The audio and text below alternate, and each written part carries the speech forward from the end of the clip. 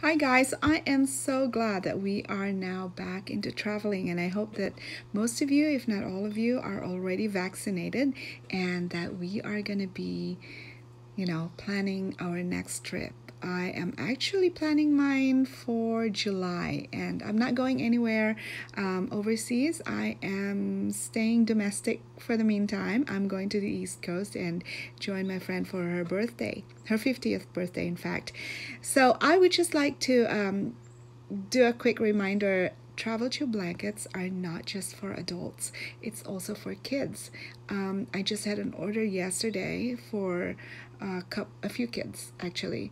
Um, I think they're traveling over to Europe, and what's going to happen is there's going to be a few airport stops and mommy wants to make sure that the kids have a blanket with them that you know can serve kind of like more you know like a security blanket so to speak but to give them comfort while they're traveling.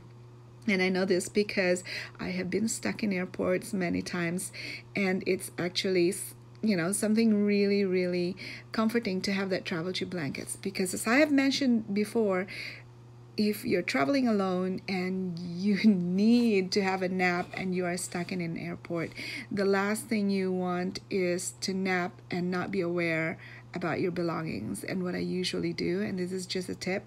I usually just put my usually I, I, carry a backpack with me and I put it inside my travel tube blankets. That that way if they want to you know if somebody wants to go through my bag it's gonna be a little bit harder for them to get in um, so anyway, yeah, travel tube blankets for the kids, consider that. And I usually normally don't have it in my Etsy listings, so hit me up, send me a message, and I will send you the fabrics that I may have on hand. And I think the measurements usually, and these are for smaller kids, I have like three to three and a half feet in length and a four feet diameter for the kids. So let me know should you need travel tube blankets for your kids. And meanwhile travel safe travel happy and carry that mask even though you are already vaccinated because there's still a lot of viruses out there and you don't want it when you're traveling. Take care guys